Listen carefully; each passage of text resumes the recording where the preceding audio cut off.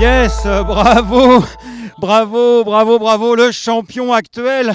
Alors, dis-moi tout, mon petit Pierre, comment ça s'est passé? C'était sportif, hein? Le grand cross du Francir Poney Cross Challenge.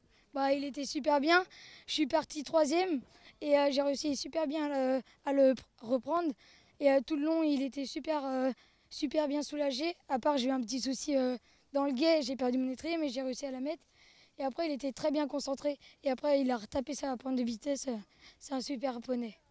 Bon, c'est un gagner comme ça, enchaîner les victoires, ça donne des envies, j'imagine, pour l'avenir Ah oui, euh, gagner euh, avec un bon poney, euh, quand c'est les championnats de France et tout, ça donne tout de suite envie de, devenir jockey. Devenir jockey, quelle bonne idée, n'est-ce pas, le père Nicolas C'est très, très stressant, mais c'est super. Quoi. Puis c'est une super école, les courses de poney. Puis on a un, champion de poney, donc on remercie Adrien et Agathe Foissy, qui sont les, propriétaires, qui, nous l'ont confié. Donc merci à eux. Et de toi, de ton côté, dans les tribunes, cette émotion, parce que c'est quand même hyper sportif. Hein, comme... Euh, j'ai très peur. Je comprenais pourquoi ma mère avait peur quand je montais en course. eh bien, bien, bravo.